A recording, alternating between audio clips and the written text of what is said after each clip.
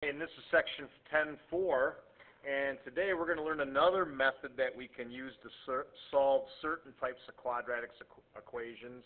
Um, this method would be using square roots to solve quadratics. Now, this method, there's some good and, some real good positives, and there's no negatives in it, but there's, um, some limitations, I guess would be the better way to say it. There's great this method's great because it's easy. The limitation is it only works for certain kinds of quadratics. So that's what I'm putting here. This method is very easy to use, but here's the limitation. It only works for quadratics without a b value. Remember, in standard form, our quadratics, I'm going to write it in red just so it sticks out. A quadratic in standard form looks like this. We can't use square roots to solve quadratics in standard form unless the b value is zero, which makes that disappear. In other words, it, it will work if my quadratic's in this form, you notice there's no bx value in the middle. That's when I can use square roots to solve. Very simple method, but that's the limitation to it. All right? So how do I use square roots to solve a quadratic of this form? I think the easiest thing to do would be to show you an example. And before I do that, I got a quick thing I need to explain here. You've heard me now for a couple months since we've worked on quadratics tell you that when you have a second degree equation, which is a quadratic or higher, you should always get everything on one side, all terms on one side and zero on the other. However, if you're going to use square roots to solve a quadratic, that's not true. In this case, you need to isolate x squared on one side of the equation and get c and a on the other side. So in other words, let me just write this down.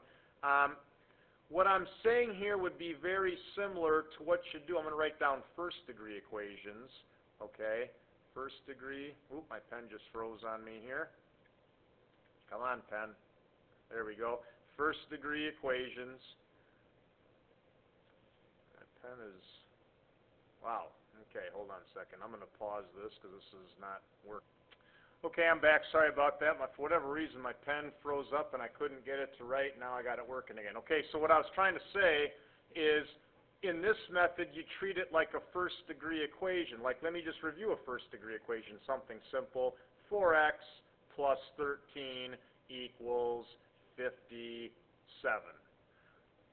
when you solve this, you know what you need to do. You need to isolate x. You'd take away 13, and you'd get 4x, 4x on the left, and 44 on the right, and then you'd divide by 4, and you'd find out that x is 11. That's exactly the process you have to use if you're going to use the square root method to solving a quadratic. You've got to isolate, you have to isolate x squared. Okay, let's actually do that. Here's an example. All right. 2x squared minus 8 equals 0. So here we have to isolate x squared. I'm going to add 8 to each side first to isolate 2x squared on the left. Now I'm going to divide by 2. Okay, now think about it. In this the whole year, think about this. To get rid of minus 8, I added 8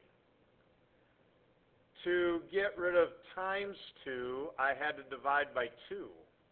So I'm always doing inverses. The inverse, of, the inverse of subtracting is to add, and the inverse of multiplying is to divide. To get rid of a square, what's the inverse of squaring? Here's an incorrect response. I always have people every year, and they're thinking about this, and they're like, well, to get rid of a square, you just divide by 2. I'm doing it in red because that's wrong. Dividing by 2 doesn't get rid of a square. That's not the inverse. The inverse of squaring is to take the square root. Okay? So you now take the square root of each side. Well, the square root of x squared is x, and the square root of 4 is technically we get two responses, plus or minus 2. So the result here, the correct answer, would be positive 2 or negative 2. I want to just show you that if we factor, if we go back to chapter 9, I'm going to think back to chapter 9. If we factor this problem, we'd get the same two solutions. Let me show you that real quick just to show you that you get the same results if you factor. Remember, when we factored, we get, a, we get the greatest common factor first, which is a 2. Factor that out. Do you notice how this is a difference of squares? That's a shortcut. So I have x and 2, x minus 2, x plus 2 is the correct factoring. Well, to make this 0, x is 2, and to make that 0, x is negative 2. Can you see I'm getting the exact same results? Okay? So again, the square root method, honestly, if I, I like the square root method better than the factoring method personally, um, because I can get the exact results, all right? Let's do another one. Here's number 4 on page 655. So again, pretty simple steps. I'm going to isolate x squared. I'm going to add 32 first. I'll divide by 2 second. And to get rid of x squared, I got to square root each side. And remember, there's two solutions. It's positive and negative 4 for the solutions. Two solutions. Look at the key concept box on page 652. When you solve quadratics by using square roots, there's three things that can happen. Okay? If this value here, let me, oh, my layers here, if this value is greater than 0, you get two solutions to the problem. If you isolate x squared and d and the value here is a 0, you will get one solution. If you isolate x squared and d is a negative amount, you will get no solutions in that case. Okay? For example, if you're solving this equation, you're going to take away 12 from each side. And when you take away 12 from each side, you'll notice immediately, let me get this stuff out of the way, you'll notice you have b squared on the left, you have isolated the square and you have negative 7 on the right, you notice that's this situation right here. You have the squared term on one side, you have a negative on the other, immediately you can quit. You have no solutions. Think about it. What number times itself can give you negative 7? That's impossible. No number times itself can give you a negative. So that's not a possible situation. Okay, be aware when you do your homework today, my couple first couple examples worked out real nice into integers. These do not always work out into nice integers or whole numbers like they did on my first two examples, so we should do one that isn't nice. Like here on number 12, page 655, let's isolate b squared. We'll take away 11 first. We'll now divide by 25. We'll take the square root of each side to get b squared into b. And when I do that, I'm either going to get plus or minus 2 fifths, or my calculator might give me plus or minus 0.4. Remember, the square root of 4 is 2 and the square root of 25 is 5. I did that in my head. If you want to put this in your calculator, remember to put parentheses around your fraction or your calculator will screw it up. Um, plus or minus 0.4 would be the solutions. Okay, not always going to be nice whole numbered or integered answers. Some of the problems will ask you to round to the hundredth because, again, these don't always work out super perfect. Uh, here's number 20. Well, I got to isolate a squared. I'll add 9 to each side. I'll divide by 2. I get a squared equals 10.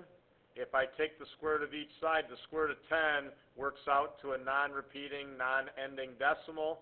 So I'm going to round it to the hundredth, and I'm going to get plus or minus approximately 3.16. I would encourage you right now to pause the video, put the square root of 10 in your calculator, and see that when you round it, you get 3.16. Okay? You can also use square root, um, the square root method with quadratics to solve quadratics that are in vertex form. Remember, vertex form, uh, we covered this in my 10 to C video. We sketched these, remember? We sketched vertex form quadratics. And again, my pen is pausing on me. Okay. We sketched, we sketched these, okay? You can also solve vertex form quadratics using the square root method. And again, we have to isolate what's being squared first. So I have to divide each side by 6 to get the x squared term by itself, which I now have to get rid of the square, since I'm having parentheses, I got to get what's rid of outside of the parentheses first. I'm going to square root each side. when I square root each side, let me get these boxes out of the way so you can read what's on my video here easier. When you square root each side, remember, a square root and a square kind of cancel each other out, and you're left with x minus 4. Now over here, you're going to get the square root of 7. Now remember, when you take the square root of 7, you're going to get two responses. You're going to get the positive amount and the negative. So when I put the square root of 7 in my calculator, I get about 2.65. I'm going to get positive 2.65 and negative 2.65, but you notice I'm not done. What I learned here is I have x minus 4 is equal to plus 2.65 or minus 2.65. So I got to continue. I'm not done yet. I still have to solve. I have to add 4 to each side. And when I do that, I'm going to get two solutions. I'm going to get positive 2.65 plus 4, and I'm going to get negative 2.65 plus 4. I get two solutions, the positive and the negative added with 4. And those two solutions then, remember, these are approximated. So I'm putting little squiggly equal sign. They're not exact. I'm getting about 6.65 or about 1.35 for my two solutions.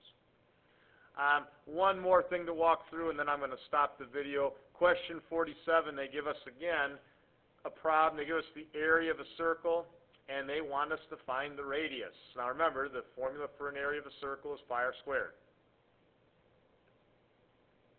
So in number 47, they told me the circle area was 144 pi. So I plugged that in for A. I want to find R. Now remember, pi, it looks like a variable, but it's not. It's a number. Pi is a number. I want to get R squared by itself, so I can use square roots. I'm going to use the square root method to solve this. I got to get R squared by itself, so I'll divide each side by pi first. The pi's cancel and the pi's cancel. I have r squared equals 144. I'll take the square root of each side, and I'm getting plus or minus 12. I should write that in. I'm getting positive 12 and negative 12. Now remember, since we're talking radius, the negative answer doesn't make any sense. I can't have a negative radius. I'm going to get rid of that answer. I'll only keep the positive answer. R would be 12. And let's just do a couple more examples. Um, here we want to use the square root method to solve a quadratic. Remember, this is in vertex form. So step one, I got to divide by 4 thirds. I got to get the square term isolated. So I'm going to divide by 4 thirds, or I could times by 3 fourths. I'll tell you what I'm going to do. I'm going to divide by 4 thirds because that's what I've been teaching you throughout the year. I'll be consistent. Multiplying by 3 quarters would have been okay. But just to be consistent, to get rid of times 4 thirds, I'll divide. Okay? Don't forget to use parentheses when you put this in your calculator. So I get k minus 6 squared equals 15. Now I got to take the square root of each side. Remember, a square root and a square cancel. So I have k minus 6 on the left. The square root of 15 is 3.87. I get the positive and negative value for that. I add 6 to each side, I get two solutions. I get positive 3.87 plus 6, which is 9.87, roughly, it's approximate. I also get negative 3.87 plus 6, which is about 2.13 approximately. There's my two solutions. One last problem, number 41. I want to round this one to the nearest hundredth. Now here, I have variables on each side. I want to use the square root method to solve this. Now remember, in the square root method, you treat it like um, first degree equations. All right, we want to isolate that x squared. Well, I have x squareds on both sides, so think about in first degree if we had variables on each side. Didn't we put all the variables on one side first in this method? And I hope you're coming up with, yeah, Mr. Lemanski, we had to put everything on one, all variables on one side. So it's the same thing here. Let's add 2x squared, get all the variables on one side. Well, now, this is exactly what we've been talking about. This equation here would look exactly like the kind that we've been solving in my video. Let's add 35 each side. I want to finish this up, okay? I don't know why I put this in here. It must have been last year. I must have been talking about something different. So let's finish that up. Um, we should add 35 each side.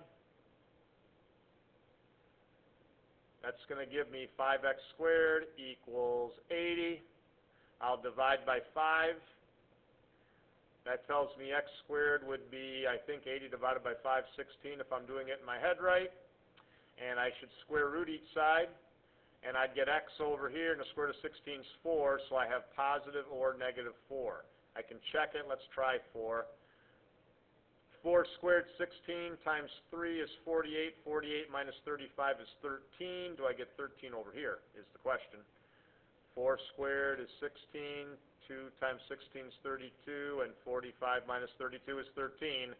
So that, that is definitely um, checking here. That checks out. This must be the correct solution. All right, I'll stop my video there. If we have more questions, we can talk about those tomorrow.